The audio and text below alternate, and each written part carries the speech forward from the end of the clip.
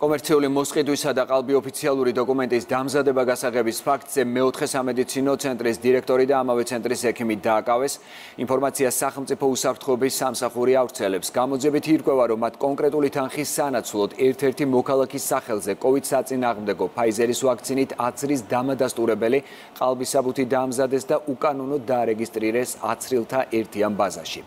სუსის ინფორმაციით მტკიცებულებები დასტურდება, რომ მსგავს დანაშაულს დაკავებულები სისტემატურად ჩადიოდნენ.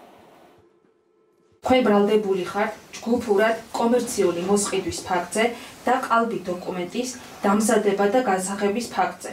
დანაშაული გათვალისწინებული 221 მუხლის მეოთხე ნაწილის აქვე პუნქტით და 362 მუხლის პირველი ნაწილი. მაგნიშნულმა პირებმა კონკრეტული თანხის სანაცვლოდ დაამზადეს მოქალაქის COVID საწინააღმდეგო Pfizer-ის ვაქცინით აცრის დამადასტურებელი ყალბის საბუთი და უკანონოდ დაარეგისტრირეს დაავადებათა კონტროლისა და საზოგადოებრივი ჯანმრთელობის ეროვნული ცენტრის ოფიციალურ ვებგვერდზე.